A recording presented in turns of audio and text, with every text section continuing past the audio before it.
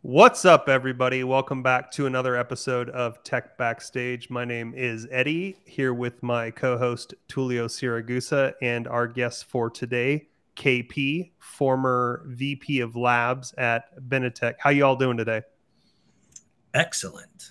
Excellent. Awesome. Thank you for having me. Yeah, KP. Thanks I'm for. I'm so excited to have this conversation about this. Yeah, it's good. It's going to be a good one for sure. yes, thanks for uh, thanks for joining us, KP. Um, Tuli, you want to start this one? Or you want me to start this one? Yeah, you know, I, I really, I'm, I'm passionate about this topic. Yeah, it's, uh, one of the reason I've, I've stayed in tech for 33 years. Um, I remember when we first started many, many years ago, technology was a way to become more efficient in doing things, predominantly used by big companies uh, to create automation. It was really about driving uh, better functions inside of a business and cut costs, right? But with open source, everything changed. So software became the great equalizer. Technology became how you democratize access for the masses for things that were historically only reserved for a few. So that's what we're going to talk about today is how software can empower communities. Uh, and I'm looking forward to hearing from you, KP. Maybe you can just start by telling us a little bit about yourself, uh, how you got here. Congratulations, you've recently retired. Uh, something we all look forward to at some point, but not yep. yet. so, yeah, absolutely. Yes. Tell us a little bit about yourself, and let's kick it right into this conversation. See what we can learn. Yeah, so you know, just by way of background, I've been in tech for you know over th- three decades, and you know, worked like you said, Tulio, on you know using uh, software to kind of improve efficiencies and you know do this in you know with a whole range and a whole range of companies right i worked at you know sun microsystems you know the county of santa clara you know a whole bunch of uh, startups and stuff like that but you know as as i've seen tech evolve like you said you know what in the beginning it was how do you drive efficiencies and how do you you know, make businesses make more money. But now with technology, the barrier to entry for software has become really low, right? So there's lots of these low code and no code platforms which have made it very easy for people to come on board uh, and develop software really to to address fairly pressing problems. And you know, one of the biggest problems is how do you help people uh, you know empower people using software and when i say people i'm focused on are the most vulnerable groups within you know within our society right? How do you use software to help them? And so that's been my journey and you know uh, that's where i work on. And still you know i keep my hand in just advising um, you know advising companies and you know uh, serving on a board here and there. But um, that's my passion is you know how can we use technology to actually help people um, do what they need to do and live their lives yeah very cool. So tell us a little bit about uh, where you think we are as opposed to where we are and what's contributed to that. In your in your opinion what's helped us get where we are in terms of making technology more accessible enabling and empowering more communities? How's that coming to play and where you think it, the opportunities still lie in terms of where the gaps of what it could do? Yeah absolutely. I, I think the the big shift which i've seen is technology you know 10 15 years ago really needed tech experts to be able for people to actually go use technology. But by that what i mean by that is you needed you know you needed coders you need you know programmers you needed sysadmins you need database administrators and what have you. You know we had this whole class of people you know who you need in order to actually use technology to do what you need to do and that's still true for a lot of you know enterprise large enterprises and what have you they still need that and and there's a place for that but the shift which has happened is there's a lot of new platforms which are available where you can do basically, you know, non-tech people can use technology. They can code or they can put together software very quickly to address what they need to do in their business. So, you know, they can use uh, a whole bunch of platforms, you know, whether it's Zapier, um, you know, there's there's a lot lots of low code and no code app development. I mean, it seems like there's one, you know, released every day, um, which people can use to uh, in their business, and the, the setup costs are are next to nothing. Um, you know, you can do it on on a credit card, and so for a lot of these businesses, it, and particularly small businesses and non-for-profits, not-for-profits, they can actually use these platforms. So that's the big shift which has happened. They don't need a tech guru to help them to use tech. Uh, and I think the opportunity to answer the second part of your question, Tulio, the opportunity is for these organizations and even for techies to start thinking about how they can actually use the technology which is available today, the tools which are available today, to actually serve a lot of the population, you know, you have to remember that even with you know two billion people on Facebook, there's still another, you know, six seven billion people who don't have access to that platform. That's just a that's just a, a benchmark, if you like. Uh, mm-hmm. But there's lots of people, you know, who are the bottom part of the pyramid, so to speak, and that's where I think we need to focus our attention to use tech to benefit those, that group of people. Interesting.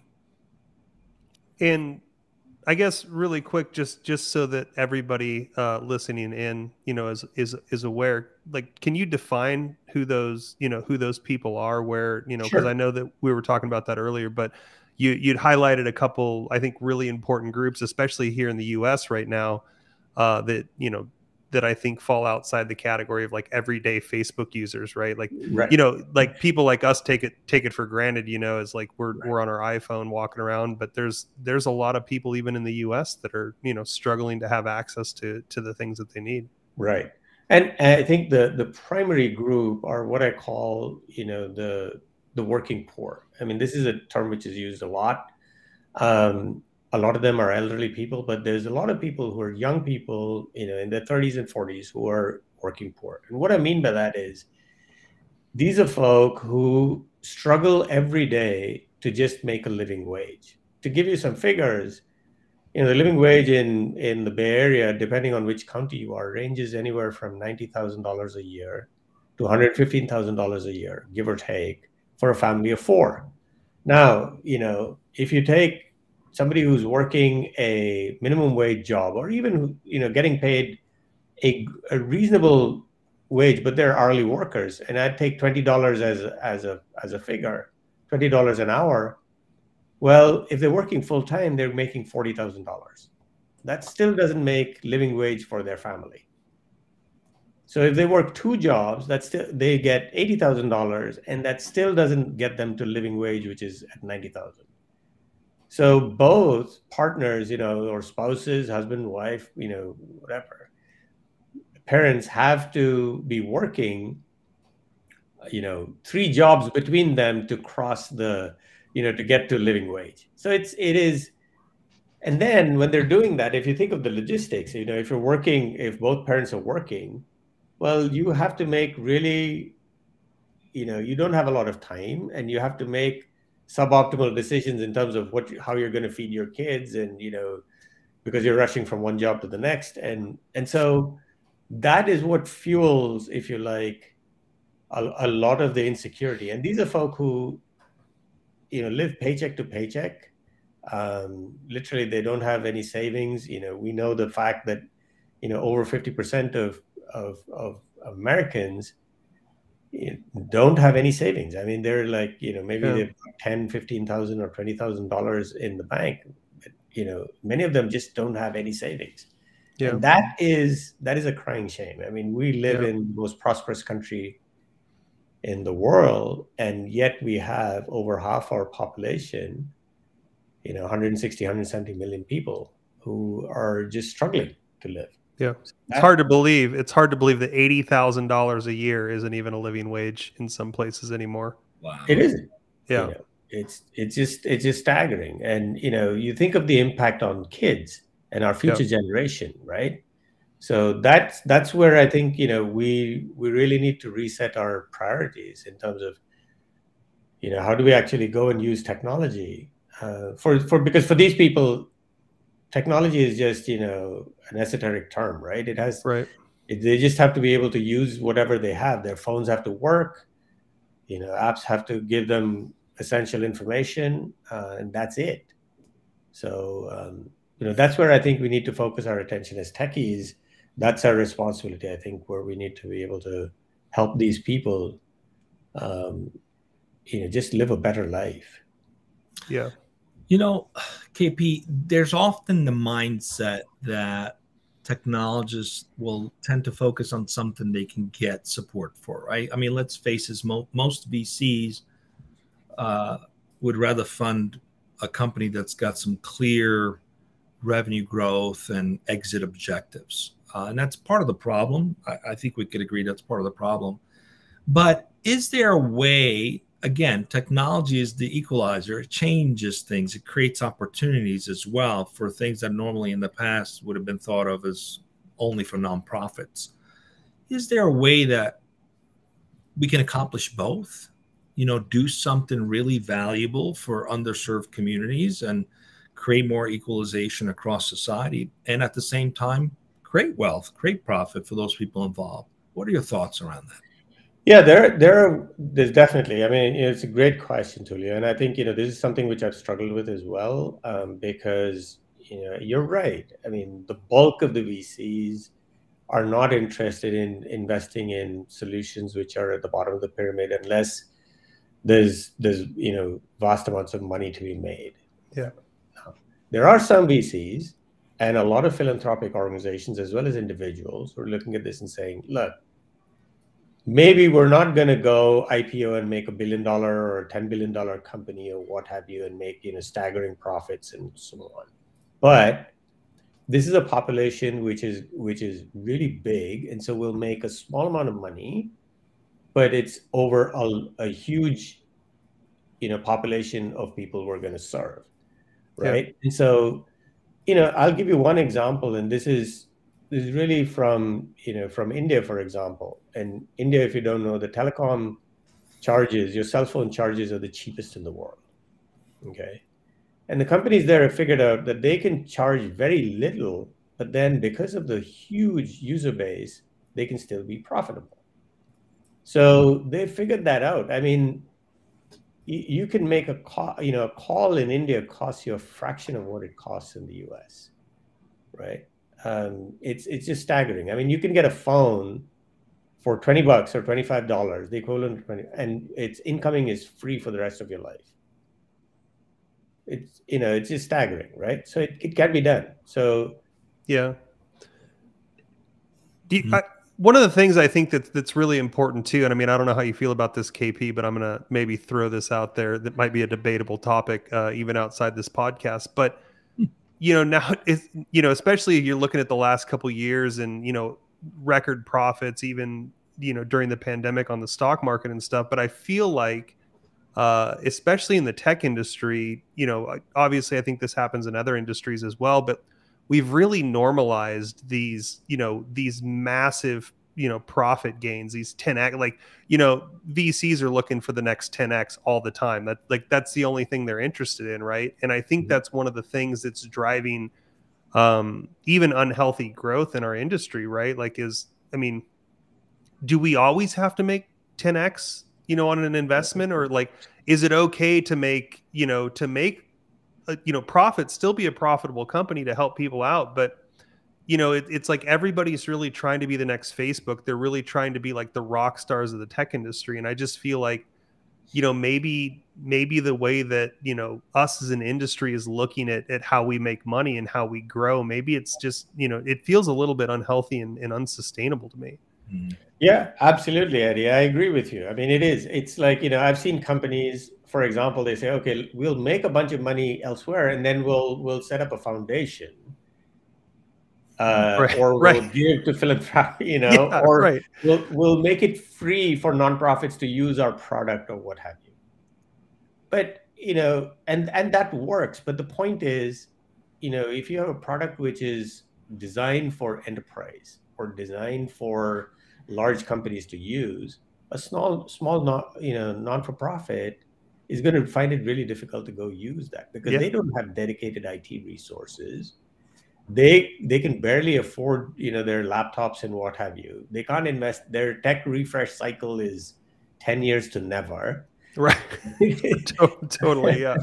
right so it is it is so that's those are the kind of things which we need to kind of think about right um, and so there are some vcs who are doing this there are definitely you know eh, there are you know individual people um, you know who are who are uh, you know spending their money which they've made in tech elsewhere spending their money and, and giving that to not-for-profits to invest in in what they're doing. So um, you know there's there's definitely that. I mean you know the the biggest one which stands out to mind is uh you know jeff bezos' ex-wife mackenzie scott Oh, yeah. who gives you know who's given away vast amounts of money i mean billions of dollars. I mean she's the largest single donor um you know in the world and she's Right. given away a huge huge amount of money.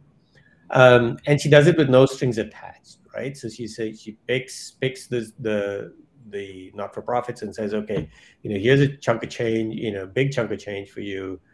Go do what you do best and you know how to use it and i'm not going to put any strings to it. So i think we need more of those and we need you know and we need uh, definitely more investment in technology. Um, hmm and so there is the need i mean there's definitely the need for that uh, and we need techies to really start thinking about what it is that they're doing on a day-to-day basis right Yeah. just because something is technologically possible or feasible doesn't make it the right thing to do Yeah.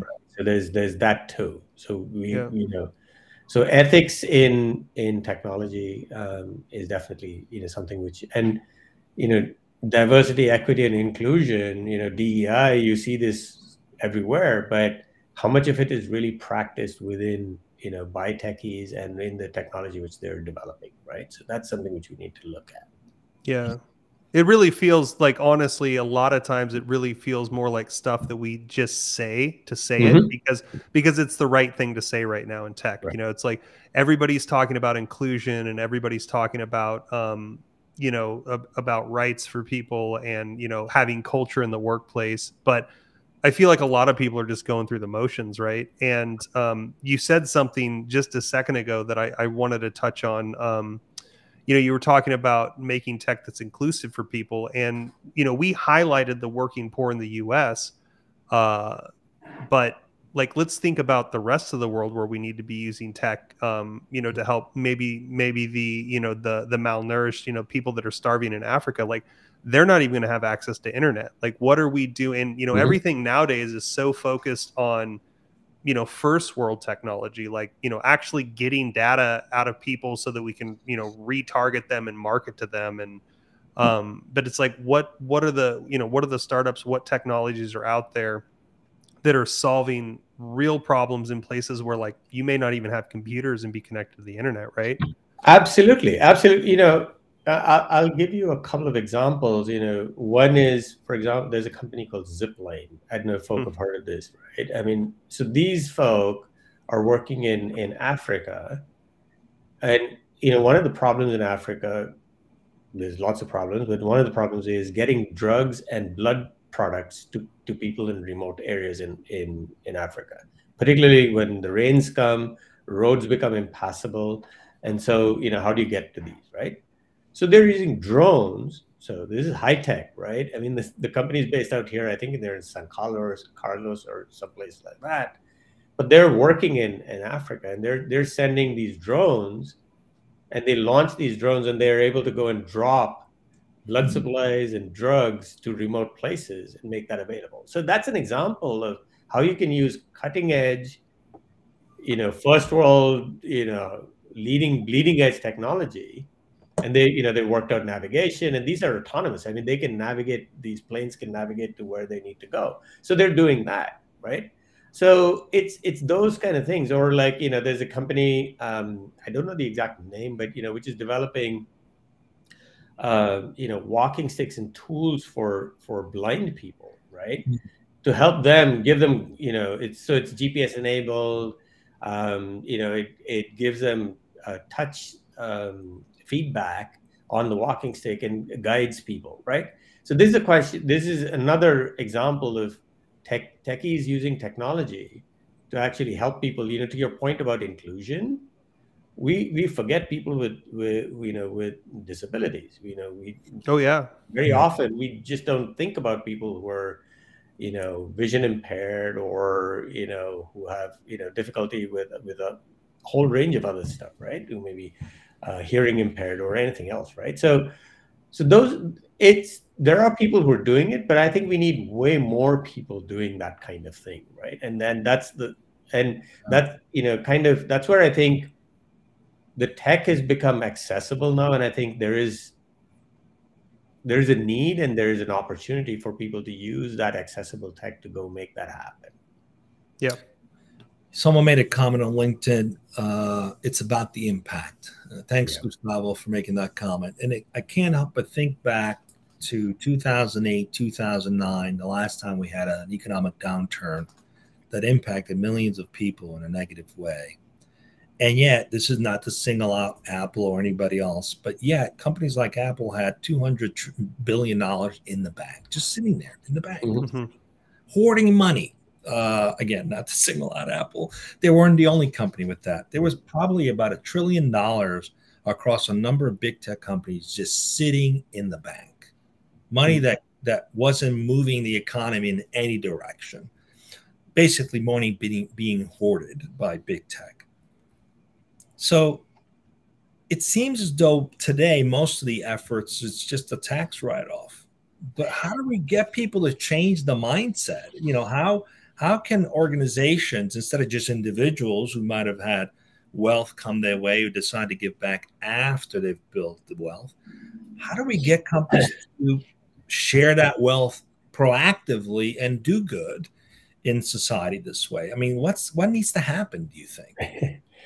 you know, I I think it's I think it starts at the top because it's the CEOs and the boards who have to actually make this call, right? I mean, you know, you think about the CEO of Gravity Payments, right? Who said, okay, there's a minimum wage of seventy thousand dollars. Right. Is what I'm going to pay my employees. I love that guy, by the way. Yeah. Right? So he t- he took a pay cut. So, and people said, oh, you're going to fail. They didn't fail. They did really well, right? So they, you know, they've had, they've been growing like crazy, and they're doing so. There's this, uh, you know, misconception that if you pay people well, you treat people well, you know, or you spend the money which you know which you're making hand over fist, somehow it's going to you know, or you're not going to be able to survive. Uh, and that's simply not true. The second thing is a lot of a lot of our you know companies, they're not driven necessarily by you know what is happening around them. They're driven by Wall Street. They're driven by every quarter I need to make quarter on quarter, I need to show growth, quarter on quarter, I need to show profits. And so I'm going to, you know, and for in tech, the biggest expense is people. And so how can I cut my expense on people? And you know, just that's that's the way it is. It's like, you know, that's why they fight the wage, you know, wage increases. It's like, oh, we shouldn't pay people more. I mean, Amazon is like a wash in money right? it's just and and yet they they you know they just want to fight the minimum wage at every stage right and they, so these are the kind of things it's like it starts with the ceo and the ceo you know has to change and sometimes sometimes it may be you know it may be societal pressure but sometimes it's a very personal event which takes place for them mm. so it's it when you really think about it, it's counterproductive, isn't it? Yeah. Because you pay people less, they eventually spend less, which doesn't contribute to the economy, which ultimately comes back to you. It's just counterproductive. It's totally counterproductive. It's you know, you people you pay people well, they're gonna go out, feel good about themselves, they're gonna spend money, they're gonna, you know, it, it goes into the economy. It's the same thing with you know this, this, is off topic a little bit but you know it's the same thing with healthcare it's like you know why don't i i want i want everybody i want marginal i want my daily workers to have really good healthcare why because they're the folk who are preparing my food They're the people who are coming in and cleaning houses. They're the people who are minding our children. We want them to be healthy and safe so that they're, you know, so we, we want them to be really clean, you know, have really good, clean healthcare available to them so that they they don't fall ill because they're the people who keep the economy running. Right. And so it, it is, it's you're absolutely spot on, Tulio. I mean, this is counterproductive. We need to be able to pay people better so that they can, you know, they can live better lives and they make, you know, they will make our lives better. Now let's talk a little bit about some efforts to have changed the system a little bit. Like let's take cryptocurrency for example, right? It was supposed to democratize access to money and the value that you put behind things, which could potentially make it more accessible, but it turned into a game for the big you know boys and girls to make more money right and that inevitably causes ups and downs ups and downs so what do we need to do? What's the call to action for technology companies, for software companies to change this, to create an environment? You know, you know, clearly what I heard is you want to fix inflation, pay people more money. problem fixed. Um, so, what do you think? You know, as technology companies, what do we need to adopt more of to create more of an equalization in the world? Yeah, I, I think fundamentally it needs a an attitude shift. It needs people, you know, at the C-suite to be thinking differently about what they're, you know, how they're, uh, you know, how they think about technology, right? Um, and and that's the whole thing. It's like you know, it's not just about the money; it's about the people, and people need to rethink that. Is that going to happen tomorrow? I don't believe so. Right? I mean, we have we have fostered this this whole culture of you know me first and i've got to make my you know my pot of gold and then i'm going to go take care of everything else and you know then i'll write a check. So it's about you know that's not going to solve the problem right? It's so it is going to require a societal shift and i think it comes from education. It comes from teaching people teaching kids to be more generous and teaching kids to think about their their fellow you know children in their classroom and that's where it starts from right? And it's um, so yeah i mean it's it's a it's a mind shift. And i think the younger generation is kind of glomming onto that and i think there is a change. But it it will take i think you know at least a generation or two before that happens. Or something major happens in the world to disrupt the economy. Yeah right? I think we're kind of going in that direction. Yeah. We're, we're coming up on time. Uh, Eddie, you got some uh, final question for KP? Otherwise, I've got one follow up. No, I, dude, take this one, man. I, I think you're. Look, you've had a, a, career in tech. You've spent uh, three decades. Any words of wisdom? You've seen the value tech can create, both financially for the participants, but also in democratizing access for less uh, well served areas of the world. What words of wisdom would you have to share, share as a retiring tech executives?